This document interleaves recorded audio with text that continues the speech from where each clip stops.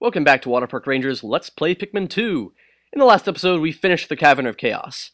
And in this episode, we're actually just to regroup um, our Pikmin, get a new party uh, put together, and then take that off to the next dungeon in the area, uh, the Hole of Heroes. But anyway, I did promise last episode that we would go over what HP regeneration is. I'm not sure I've mentioned it before, but anyway, HP re uh, regeneration is a skill that some enemies in the game have, and the same goes for in Pikmin 1. Um, all enemies, I believe, have it to a certain extent, but for most of them, it is so, like, it hardly happens at all that you don't have to worry about it at all. As you've seen, some enemies, some enemies regenerate after death, and then they come back to life, like the Spotty Bulborb and the Gatling Groink. However, there are also some enemies that will get back their life um, just on the field. And in Pikmin 1, I'm not sure how many enemies have it. I can tell you one enemy that has it in Pikmin 1 is the Armored Cannon Beetle which is kind of annoying because it's one of the more difficult enemies to fight. And in this game, I'm not sure how many enemies do have HP regeneration, but as you saw in the battle, you might have noticed that at one point we got the segmented Crawbster boss's HP to red, but then it got its HP um, into the yellow zone, so it has HP regeneration also, so that's pretty dangerous. And I'm not sure how many other enemies have it. I'm sure there are quite a few that do, but because most enemies can be defeated without much trouble, you probably just don't encounter it that often. And the Pikmin won't stop going after the rocks, which is annoying because they're all flowers. One thing that I always felt pretty annoying, at least about the first game, was that... No, in this game too, only a certain amount of small of Pikmin can, like, be working on grass or rocks that uh, give you nectar from beneath. Um, only a certain amount of Pikmin can be working on that at once, so sometimes it just takes way more long than it should. Like, I think only five can work on it at once. And another note about this bamboo half-pipe here, if you haven't defeated the cannon beetle larva nearby it earlier, what will happen sometimes is if it shoots at you while you're running up the half-pipe, the rock will fit into the half-pipe and roll through the half-pipe really quickly. So if you didn't kill it earlier, make sure you do it, because that trap can kill all your Pikmin. I'm detecting the howls of countless creatures in the hole ahead. It is nearly deafening. Sound analysis indicates a wide variety of creatures nesting here.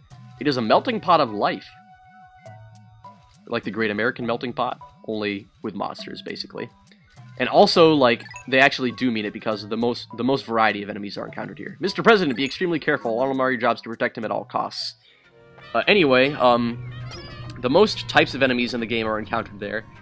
Um, this is the first dungeon that I would say is absolutely worthy of a 5-star rating. The Hole of Heroes is the longest dungeon in the game, has every element, of course that's a given by this point in the game, you're going to be expecting you need many Pikmin.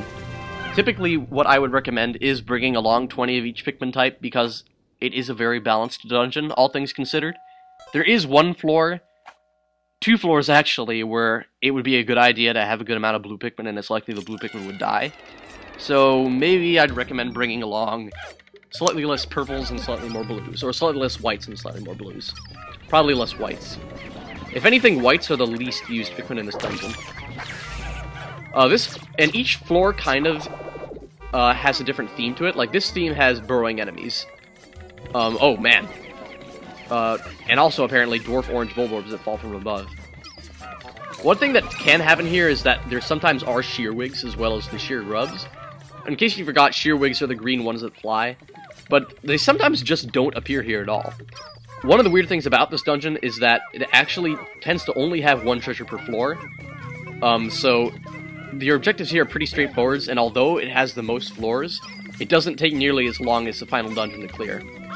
So, this might actually not take that long. It might take as long as Cavern of Chaos.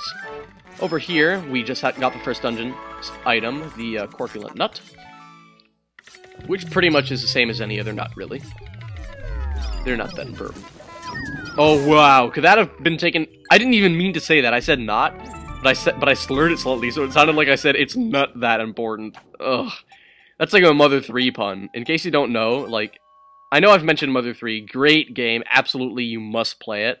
And I really want to do a Let's Play of it one of these days. I'm not even shy about mentioning it, I really want to do a Let's Play of Mother 3 at some point. But it has some characters in it that just say such bad puns. Ugh, but I'm used to bad puns in my life, so I guess I have slightly a higher endurance to them than other people, but you know, it's just it's always sort of groan worthy. And as you can see, our treasure gauge is spazzing out here. You know what that means, and if you don't, let me tell you what it means. It means a bomb rock! No, never mind. What it means is there's an antenna beetle somewhere on the floor. We haven't found those since uh, Hole. They're like the puffy blowhog, antenna beetles are one of the game's rarest enemies. Um, but I really hate them, so I'm pretty glad they're rare. And there just happens to be one on this floor, because the Hole of Heroes brings back almost every enemy you've encountered, and if you can believe it, it brings back a lot of boss enemies from earlier too. But we won't go into those until we encounter them. Let's just focus on the matters at hand. That was pretty awesome right there. I just flipped over all the Anode Beetles. I really like like how this game hardly ever slows down on you. One thing that I do have a problem with is that, um, and this is getting really technical, but the device I used to, to uh, record footage for this game, the uh, footage and audio, obviously, the Elgato uh, video capture card, it's useful because it's just really easy to use. Um, I think it can be used for PC and Mac. I have I use a Mac personally. Um, but the thing about it is, for the different formats of audio and video that you can get, um, there are two ways to record, and what I've had to use for Pikmin 2 is... Oh god, another bomb rock? You're kidding me! Wow, okay, note to self.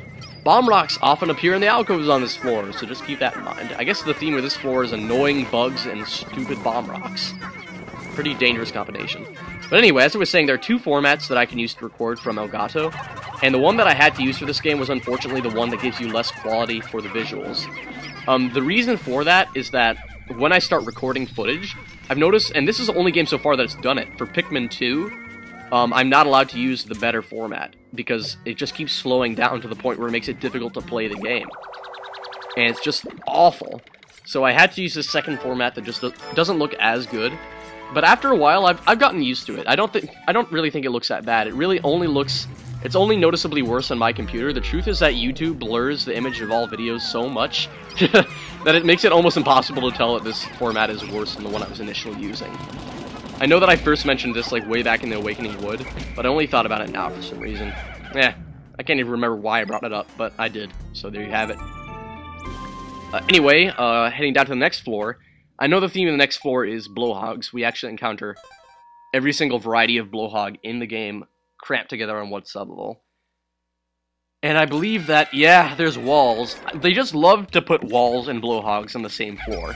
Because it's annoying how the effect of whatever a blowhog is shooting at you just goes through the wall, especially with withering blowhogs. Because they make your Pikmin so susceptible to other enemies because they can no longer be flower Pikmin.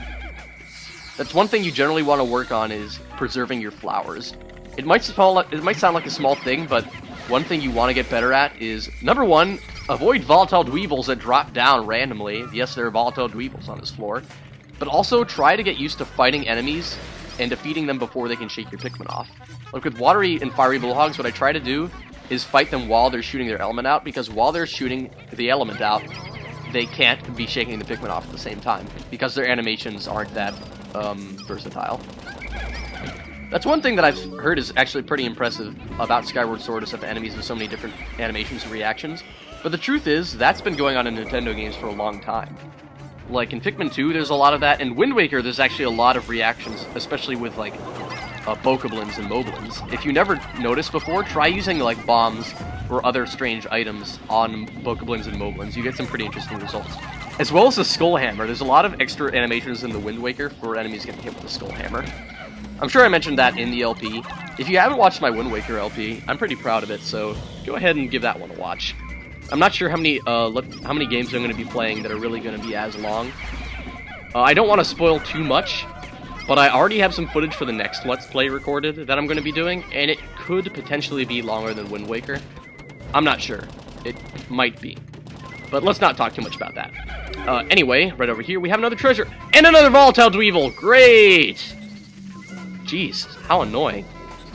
Oh man, and the, it looks like the blue Pikmin couldn't get, get away from that Volatile Dweevil in time.